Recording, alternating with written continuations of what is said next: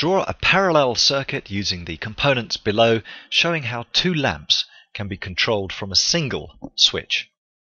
We've got a battery, two lamps and a switch. And a parallel circuit is particularly useful for operating two circuits at the same time. So we'll start off with our battery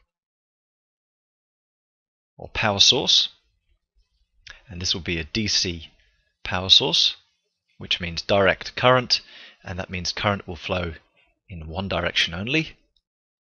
There's our current and we are going to have a junction here and one branch will go to one of the lamps like so and that will then come back to the cell.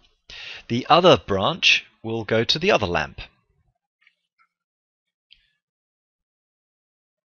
And we've seen how current will flow down this circuit here and when we get to the junction the current will split and flow down these two different paths and the the voltage of the power supply will be the same over both of these lamps because that's the energy that's being carried by the charge and some charge splits here some charge splits there. It's carrying the same energy.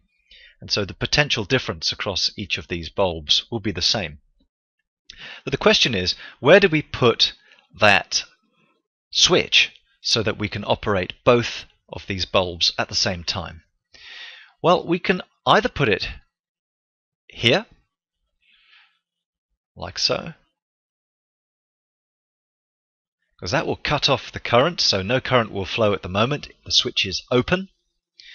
And that will turn off these two parallel circuits. Or you could put that switch over here.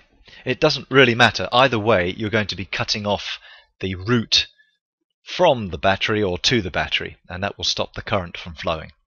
So there we have a parallel circuit that's used to turn two bulbs on and off from a single switch.